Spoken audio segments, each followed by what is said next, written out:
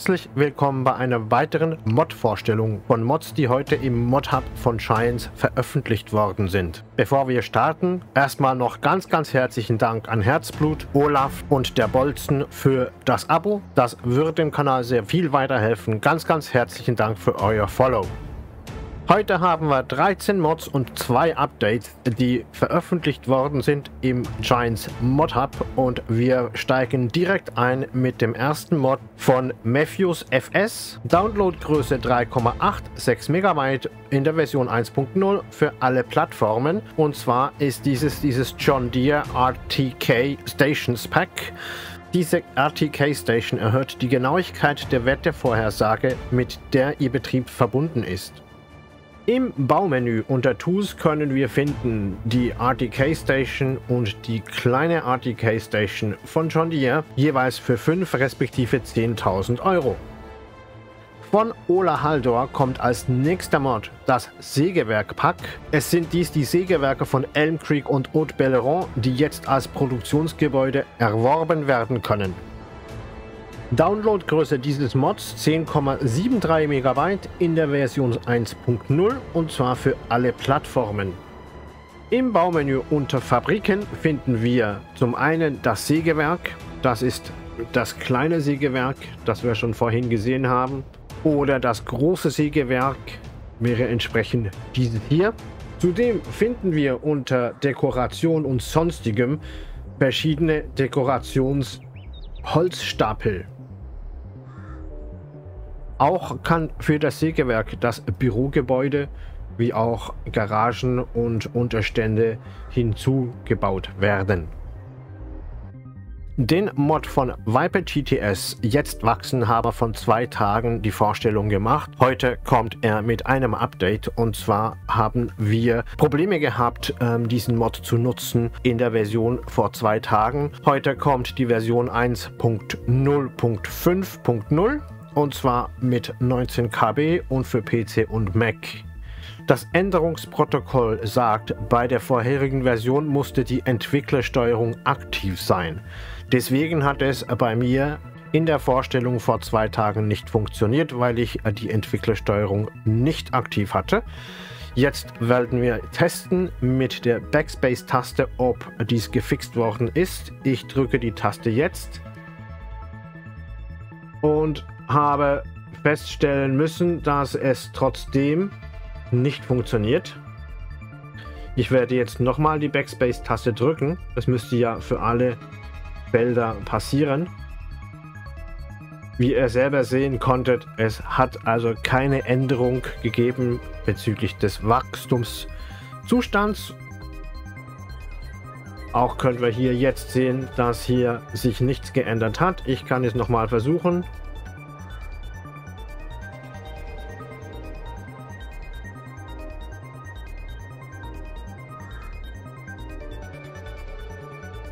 Und jetzt hat sich doch der Wachstumszustand geändert. Und zwar ist jetzt eine Stufe hinzugekommen. Also das scheint trotzdem funktioniert zu haben. Hat in meinem Erachten länger gedauert als 5 Sekunden, aber das ist ja eigentlich egal. Tatsache ist, dass also der Zustand sich verändert hat von dem einen Wachstumszustand zum anderen. Also wurde dieser Fehler gefixt der jetzt wachsen Mod funktioniert also jetzt. Der Quick Camera Mod kommt von Decke MMIV, Downloadgröße 33 KB, Version 1.0 und für PC und Mac. Mit diesem Quick Camera Mod für den FS22 kannst du die Fahrzeugkamera mit der Tastatur steuern. Du kannst also festlegen in dem Menü, welche Tastenkombination für welche Aktion gedacht oder ausgeführt werden soll. Standardmäßig ist mal der Pfeil nach oben und Pfeil nach rechts zum Beispiel. Kann also jetzt mit der Tastatur die, der Blickwinkel, das Blickfeld verändert werden. In der Mod-Beschreibung kommt der Hinweis, äh, bitte denken Sie daran, Ihre Eingabentasten zu, anzupassen. Ich werde das nicht tun, ich habe das standardmäßig so gelassen. Ähm, das ist hier das Menü für die Tastatureinstellungen bezüglich dieses neuen Mods. Es sei zu beachten, dass hier die Zoom-Version, also Quick Zoom In und Quick Zoom Out, gebunden ist an die Bild hoch und Bild runter Taste, also jeweils für eine Aktion oder das andere einmal kurz drücken, das ist eine, ein kurzes Zoom und wenn ich lang auf der Taste bleibe, wird langsam hinein oder heraus gezoomt. Wenn ich mich also in ein Fahrzeug begebe, kann ich mit den Tasten, mit den Richtungstasten, kann ich den Blickwinkel verändern. Wenn ich die Bild hoch und Bild runter Taste betätige, einmal kurz und einmal, das ist jeweils einmal kurz und einmal lang, zoome ich ganz fließend auf das Gerät ein. Dieser große Wassertank wird uns zur Verfügung gestellt von Flusty 94 Downloadgröße 1,7 Megabyte Version 1.0 und für alle Plattformen. Ähm, dieser Wassertank ist als Alternative dazu zu dem im Spiel standardmäßig erhaltene Wassertank. Ist natürlich unter Container zu finden, kostet 15.000 Euro und ist entsprechend größer als der Standardtank. Um nochmal zurückzukommen auf den Quick Camera Mod, ich habe gerade dieses Fahrzeug betreten, versuche also jetzt zu zoomen und die scheint jetzt nicht mehr zu funktionieren. Warum auch immer, ich kann nicht mal mehr ähm, mit den Pfeiltasten rechts oder links herum gucken.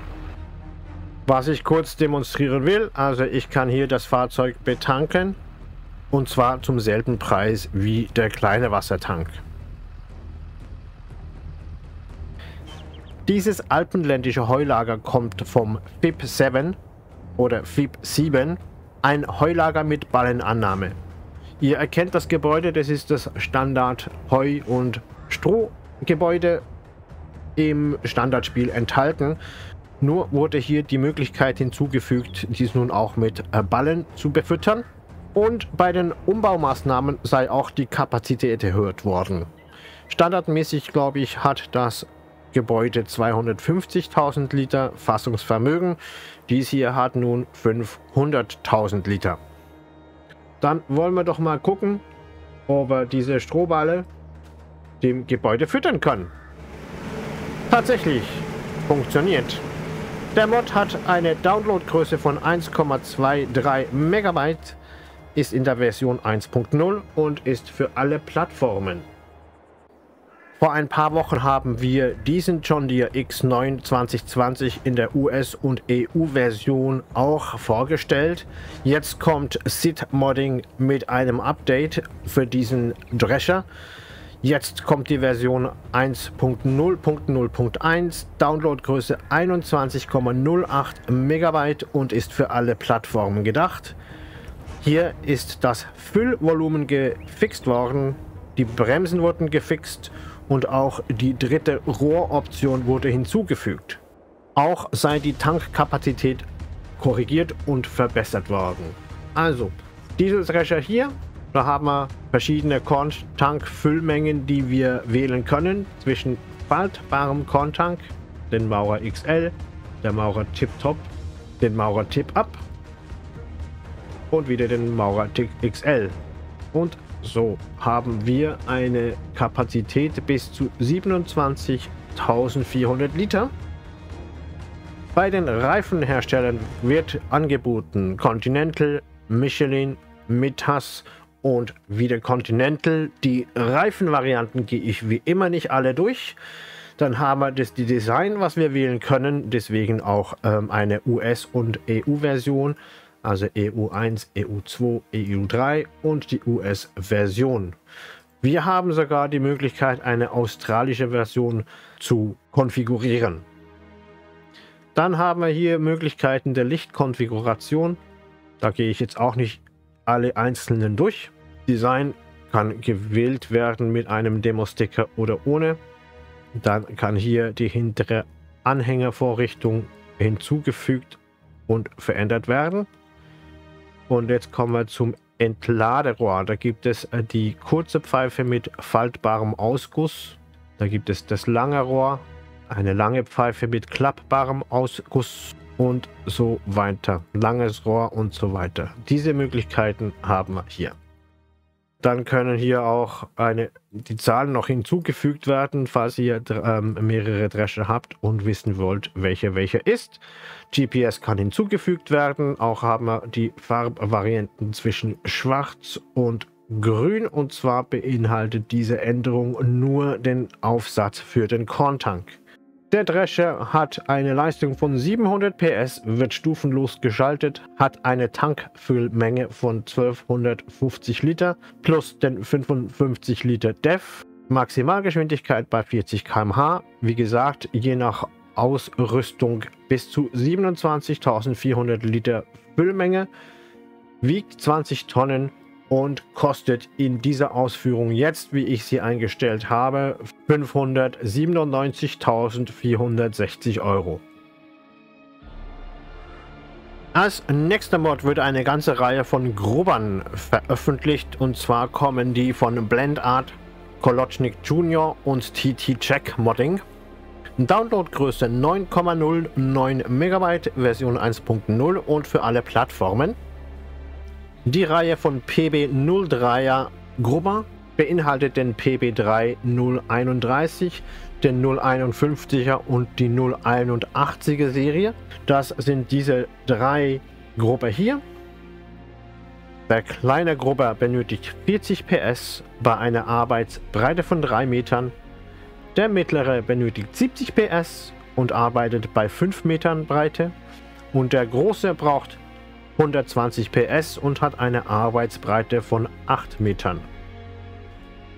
Beim Design gibt es verschiedene Möglichkeiten, und zwar einmal von der schweren Ecke, das ist äh, die Standardausführung, eine mittlere Ecke, leichte Ecke mit Reifen und eine leichte Ecke. Des Weiteren haben wir die Möglichkeit, die Farben zu verändern und dies ist ganz eurem Geschmack überlassen. Kostenpunkt für den großen 9000 Euro ohne Veränderung, 6000 Euro für den mittleren und 3000 Euro für den kleinen. Realistic Farmers bringt uns die Betonwalze. Downloadgröße 2,96 MB in der Version 1.0 für alle Plattformen. Wiesenwalzen werden für die Ertragssteigerung von Wiesen benutzt. Es ist eine alte Art der Landwirtschaft, aber Betonwalzen haben eine lange Lebensdauer und sind sehr wartungsarm. Das Pack benennt sich Betonwalze und äh, bringt uns verschiedene Optionen.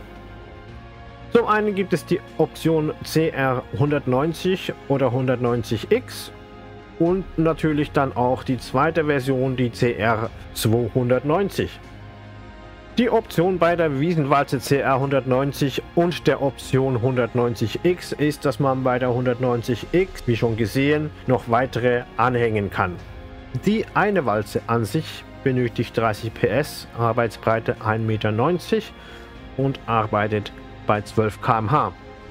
Preis der Standardoption 5000 Euro und wie hier gesehen sind das einfach dann dreimal die kleinere Walze der CR190X.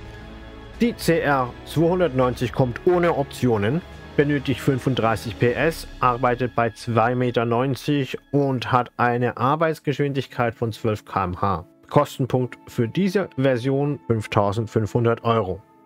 Es wird darauf hingewiesen, dass der CR290 nicht mit dem 190er X zu kombinieren sei, weil es zu Problemen kommen könnte wegen dem Wenderadius und anderen Problemen. In der Mod-Beschreibung wird angegeben, dass die Walzen mit der Taste B aktiviert werden können. Allerdings habe ich beim Drücken der Taste B in keinster Weise eine Änderung des Verhaltens feststellen können. Auch wird mir die Option im F1-Menü nicht angezeigt, dass hier die Walze aktiviert oder deaktiviert werden könnte. Also hier müsste eventuell nachgebessert werden oder die Option aus der Beschreibung herausgenommen werden. Die Scheibenecke Fortschritt B 352 kommt von AAA Modding, Downloadgröße 3,93 MB, Version 1.0 und ist für alle Plattformen gemacht. Diese Scheibenecke bietet drei Designmöglichkeiten an, wobei dies nur die Farbe verändert. Das Gewicht ist 640 Kilo, benötigt 80 PS und hat eine Arbeitsbreite von 2,1 Meter. Der Preis für die Version hier 7000 Euro. Agrardesign Austria kommt heute mit dem Seppi MS9 Base. Downloadgröße 6,18 MB, Version 1.0 und für alle Plattformen. Es handelt sich dabei um einen Mulcher, bei dem wir verschiedene Designmöglichkeiten haben, ein Warnschild hinzugefügt werden kann und auch den Ankupplungstyp verändert werden kann. Dieser Mulcher kann entweder vorne oder hinten angehängt werden. Da gibt es zu beachten, welche Anhängung hier gewählt wird. Wenn man beide Optionen haben will, ist es angesagt, dass man Anhängung beide Behälter auswählt. Das Gewicht des S9 Base ist 1,1 Tonnen, benötigt 100 PS, hat eine Arbeitsbreite von 2,80 Meter und arbeitet bei 12 km/h.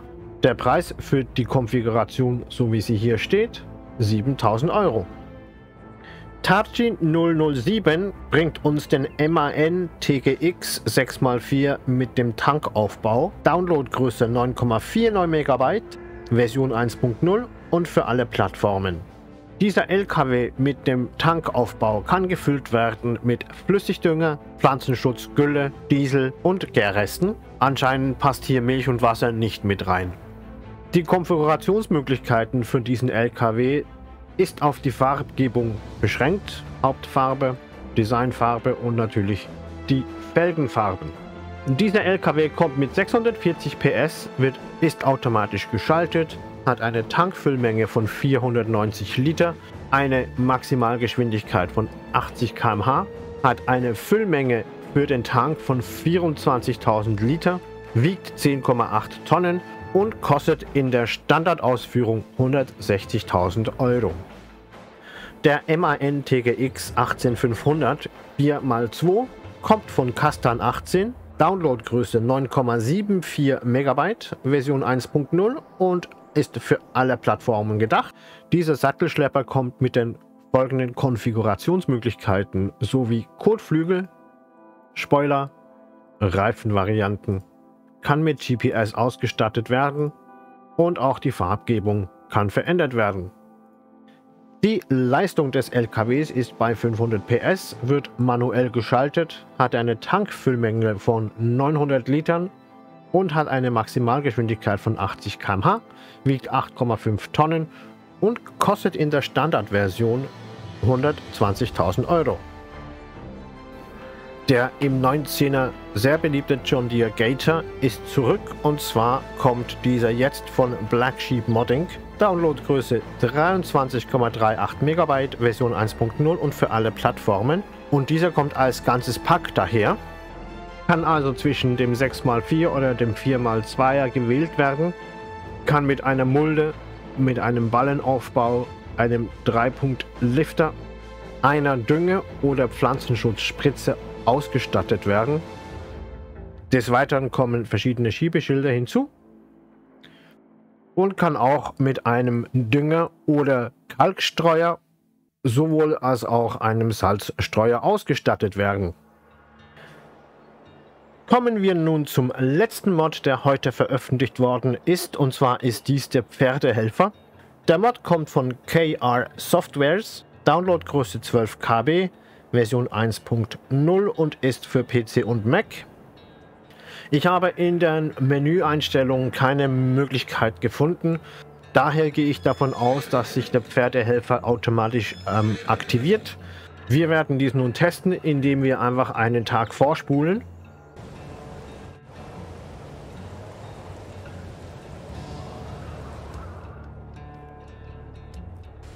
Ich kann also sagen, dass jetzt selbst nach zwei Tagen sich nichts verändert hat.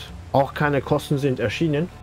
Also ich kann nicht entweder davon ausgehen, dass es irgendwie nicht funktioniert oder es einfach so ist, weil die Pferde kein Futter haben.